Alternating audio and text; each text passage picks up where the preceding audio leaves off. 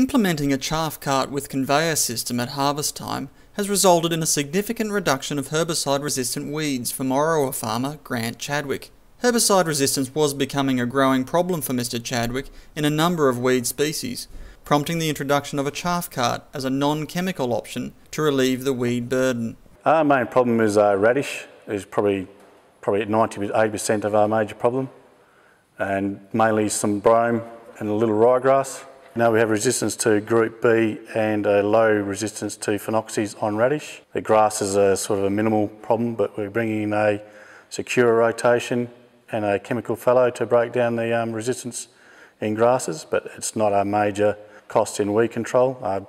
80% of my costs on farm are controlled in radish with chemicals. The Grains Research and Development Corporation has been encouraging the use of chaff carts within weed management strategies as a means of reducing weed populations and combating the problem of herbicide resistance. Research supported by the GRDC and conducted through the University of Western Australia's Australian Herbicide Resistance Initiative has shown that 75 to 85% of ryegrass and 85 to 95% of wild radish seed that enters the header during harvest can be collected in the chaff cart creating a significant reduction to weed seed beds.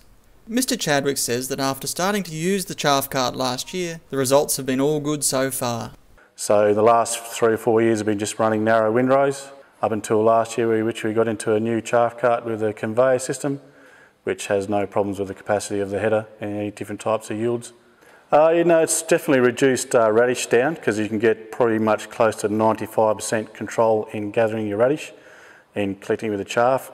Grasses, because it tends to, you can't quite cut it, you can't cut low enough, and like a brome grass tends to fold down. So you're probably getting 60 to 70% maximum grass control, but it definitely in radish you're getting a good 90 to 95% in collecting the weed seeds. Mr Chadwick takes an integrated approach to managing herbicide resistant weeds, with crop and chemical rotation an important part of their management. Yeah, we use a, now that we're not in stock, we use a chemical fallow, which is, and also that's for conserving winter moisture to carry into the next summer to get a larger yield.